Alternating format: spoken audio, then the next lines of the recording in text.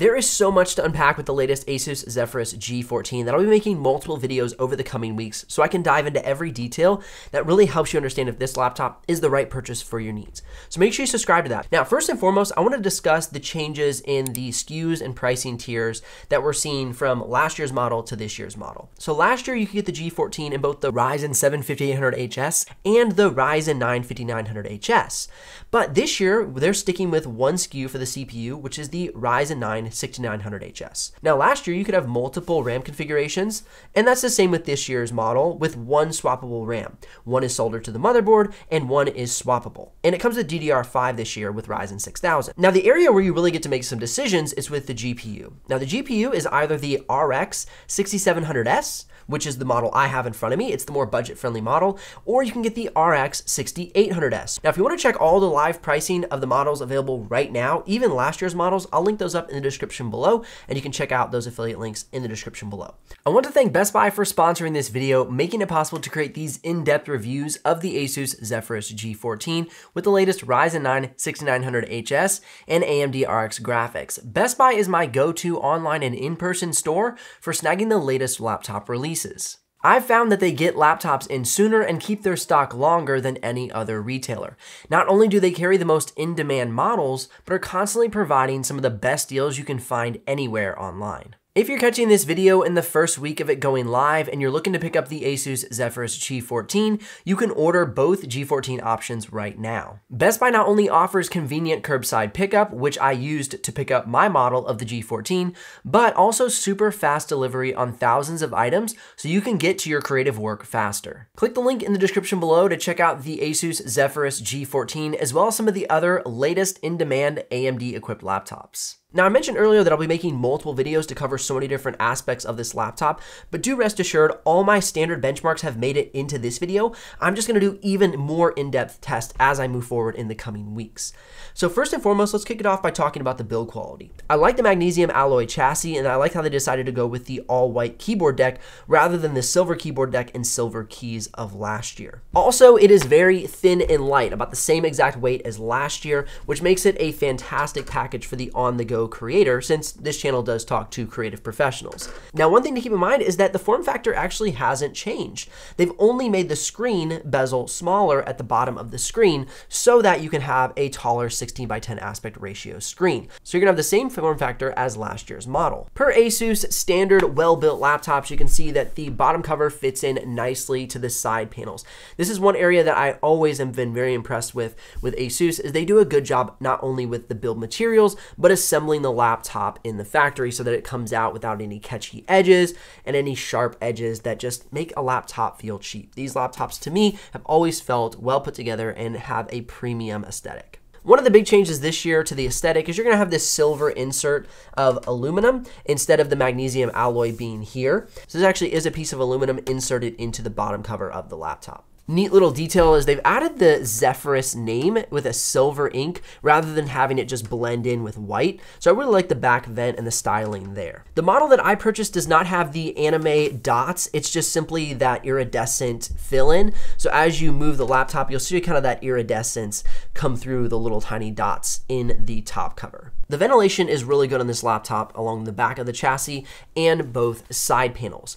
Their decision to go with the Ryzen 9 6900HS as well as the AMD Radeon RX 6700S was fantastic. We're seeing increased performance, better battery life, and still great thermals out of this model. In just a minute, we're going to discuss the full benchmarks, but while we're talking about the thermals, it's worth noting that the AMD-AMD combo of the CPU and the GPU are advantageous in this new model because of AMD's Smart Shift Max. Now, what this does is it basically allows the laptop to share some of the component power. So for instance, the CPU can actually access some of the VRAM when it needs extra performance compared to when the dedicated GPU needs all of that VRAM performance.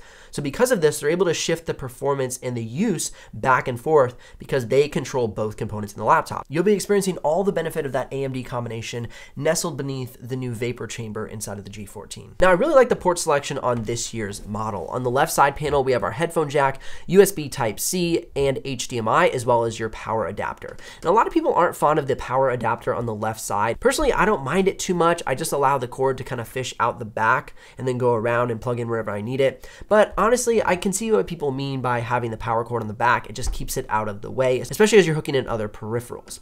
On the right side panel, we have two USB Type A's, a USB Type C, and a micro SD card slot. Now, the micro SD card slot is actually pretty great because if you have an adapter for a micro SD card, you can load it into a camera, or if you have a drone, you can easily pull that micro SD card out of your drone. And so it's a really nice hint at giving us an SD card slot, even though it's not the standard SD card. Let me know in the comment section if you like the micro SD card slot or you don't, or you wish they would have removed it and given us a full SD, or you wish you would have USB Type-C. I'm super curious. As we're jumping into the laptop, let's see if we can open and close with one hand and it is a very easy open and close. Now, one addition to this year's model is you can actually open it up flat. And, you know, for me, I actually really like this because if I'm sitting at maybe a coffee shop and I have my laptop really close to me, last year you would, you know, only be able to open it about a 45 degree angle. And so you're kind of like looking down the screen at a weird angle.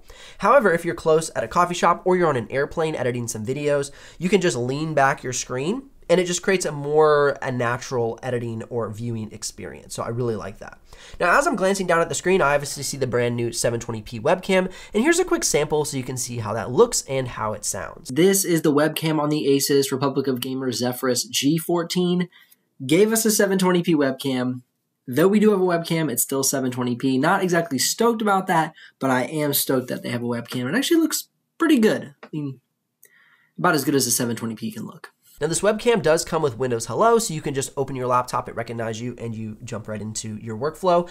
And you also have a fingerprint reader on the power button. So two ways to access your laptop, or for me, classic, just typing in a password. Now, as I mentioned earlier, the trackpad is a huge bonus if considering this year's model. A glass trackpad, great touch sensitivity. It just feels very nice under my fingers. I would say this is going to be one of my favorite trackpads of the year. Now, obviously, I haven't reviewed every laptop coming out this year, but I love how close they brought it to the edge of the device. They made use of every inch of space for this trackpad, and I really appreciate that, especially as a creator. Now, the keyboard is also an upgrade. It's nice and clicky, good snap back response. It isn't loud, though. That's a really big benefit to it. It's not that clicky snap. It's a quiet keyboard with great response. They do have this like iridescence on the keyboard. So if you you know you're sitting in uh, really bright sunlight, you can kind of see this green, purple, blue, you know, reflection off of your keys. I think it's kind of neat, unnecessary, but I love how Asus kind of does these little hat nods when they don't need to. And that is why they are one of my favorite brands uh, for laptops in the past couple of years is they just are always pushing things and doing things that really don't matter, but really make a difference to the consumer. And I really appreciate what as they as they make these little adjustments. Now, one area of improvement for some people is that you actually have RGB lighting on your keyboard. Now, it's a single phase where you're just having different colors, but it's kind of neat that they now have the RGB in the keyboard and you can either turn it on, turn it off, and you have control of it in the Armoury Crate Center as well. Now, of course, classic G14, a lot of options in your function keys to access the keyboard backlighting, turn it up and down. You have fan mode control. You can jump into the Armoury Crate Center turn up the volume, mute the mic. There's just a lot of options on the function keys. They make very good use of the function keys, and I, I just think it makes for a good workflow and user experience that they just automatically build all those in for you. Now you can customize the top row of function keys. I usually leave them alone. I'm curious, would you be somebody who customizes the top row of function keys, or would you be like me and just leave them standard as normal? Comment below and let me know. Now, speaking of how it looks, let's talk about how it sounds. Here's a quick audio sample of me using the keyboard and trackpad on the Zephyrus G14.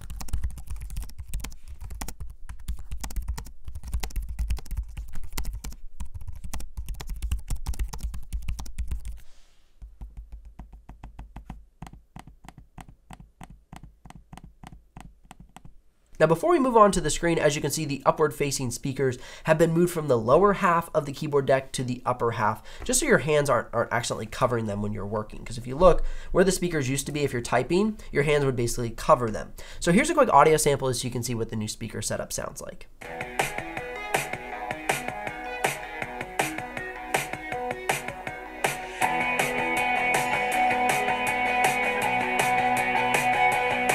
The color gamut range is something that has slightly improved over last year's model. We're seeing a brighter screen as well at almost 500 nits of screen brightness compared to last year's model at just over 300 nits of screen brightness, which will make working outside or at a coffee shop a much better experience. Now we're also getting that 16 by 10 aspect ratio screen, which for me while video editing has been a big bonus. I really appreciate the extra screen space for my timeline, monitoring the project, and all my effects panels. Now, as a creative professional, I'm not too concerned with refresh rate, but do keep in mind it has a 120 hertz refresh rate. And you also have a little bit of control over how much it's pushing, whether it's pushing 60 hertz or 120 hertz for battery life. And you can also edit the response time as well inside of the Armoury Crate Center. Okay, now this is one of my favorite parts of this new laptop, and that's the battery life. We have the same 76 watt hour battery. However, because of the optimization between the GPU and the CPU and the further optimized optimized CPU with the Ryzen 9 6900HS, we're seeing improved battery life on the G14. Now I ran it in multiple modes,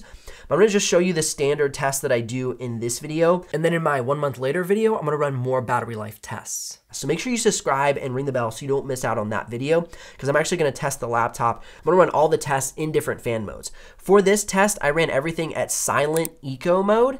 Uh, so basically I had the GPU turned off and it was just running on the CPU and that's how I got these battery life results. So we have Passmark, we're streaming a YouTube video, and we're running the Puget Systems Photoshop benchmark on repeat till the battery goes dead, and we're running a 4K Premiere Pro project on loop during playback until the battery goes dead. All of this at around 35% brightness.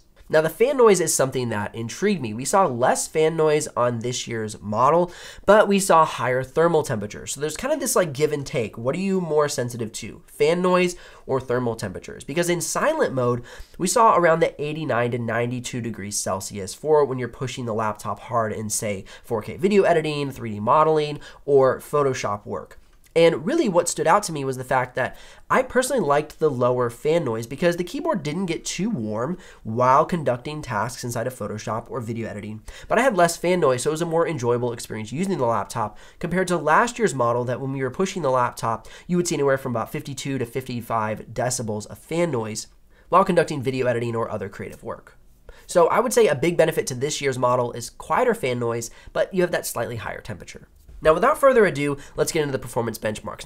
Because of the AMD Ryzen 9 6900HS and the AMD Radeon RX 6700S combination in this laptop, we're seeing improved performance over last year's model in substantially focusing on the multi-core processing, which is really good because more programs are becoming more and more optimized to handle multi-core processing rather than just the single core performance being really high. So that ASUS partnered with AMD to do this combination of CPU and GPU is gonna be a benefit to you getting this year's model. For instance, one of those examples will be After Effects, and we'll look at that benchmark here in just a second. Now, as we move on to 3D modeling, the latest RX GPU gave us quite a boost in performance above last year's model. One of the biggest standouts to me was in PTC Creo and SolidWorks. Autodesk Maya and Autodesk 3ds Max did good, but it wasn't a dramatic increase in performance. However, by going with AMD over NVIDIA, you can see a dramatic increase in performance over the PTC Creo and SolidWorks. So for me, if you're somebody considering using PTC Creo or SolidWorks, for instance, if you're an architecture student or you're an architecture professional, this would be advantageous to you to go with the G14 with the AMD RX GPU over last year's model with the RTX NVIDIA GPU. Now, as we're sliding over into After Effects, you can see that there's over 100 point increase in performance for After Effects by getting the latest Zephyrus G14. So if you're a big After Effects user, After Effects recently pushed an update that really takes advantage of multi-core processing in their app. And so that's why we're seeing more performance increase because as we saw in Cinebench R23, multi-core was improved this year. And so that is being reflected here in the actual real world benchmark of After Effects. Also, it's important to note that you are getting an extra 2 gigs of VRAM in your GPU by getting this year's model with the RX 6700S versus last year's model with the RTX 3060 from NVIDIA.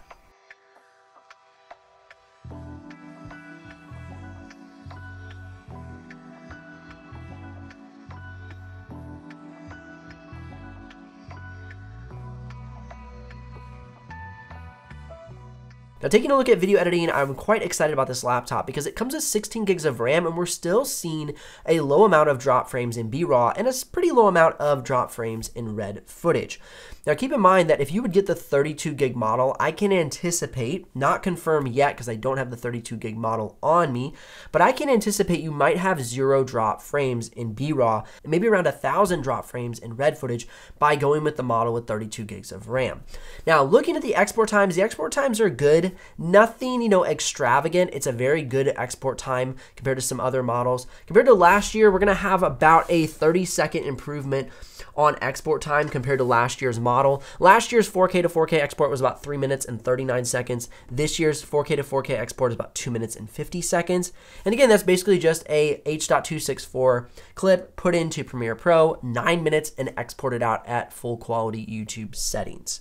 Now, to me, the most intriguing thing about the export times this year is no matter if you run it in turbo, performance, or silent, I get the exact same export time, just slightly different temperatures and fan noise. And if you actually go look at Hardware Canucks video, they can confirm that the difference between performance and silent mode as far as how much power the CPU is pushing was very little. But when you push it up to turbo mode, it increases the wattage that the processor is pushing.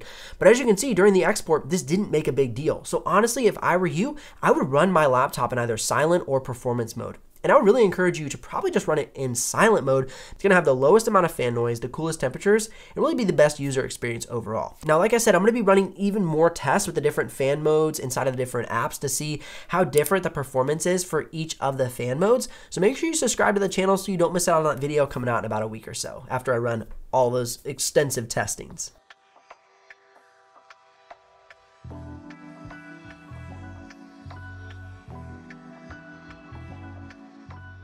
Moving on to Photoshop, we're seeing about 135 point boost in performance inside of the Puget Systems benchmark. And we're seeing pretty cool temperatures run inside of that program as well. So looking at the Puget Systems Photoshop benchmark, we're seeing above 900s for basically every fan mode, silent, performance, and turbo.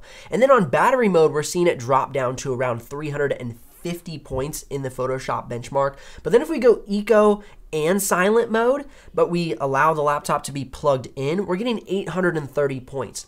So when you turn off your GPU, you're actually only losing about 100 points in performance. So if you want to keep the laptop running a little bit cooler, around 82 degrees Celsius, rather than running the laptop at about 89 degrees Celsius in silent mode, you can go eco silent mode, get cooler temperatures and less fan noise. So that could be a benefit to you, and you're only losing about 100 points in Photoshop. Really, the greatest advantage of this year's model is about 20% increase in performance, much better battery life, a larger trackpad for the device, and a larger screen. If you're somebody who's looking for these types of improvements in your machine compared to last year's model, then I would definitely consider picking up the latest Asus Zephyrus G14. Don't miss out on the future videos on the channel as I'll be diving even deeper into testing, giving you my reflections after spending more time with this laptop, and also giving you specific use case videos like 3D modeling, and video editing. So make sure you subscribe and ring the bell so you don't miss out on those. Otherwise, links if ready to make a purchase, and likes if this video has brought you some value. I'll see you guys here in the next one.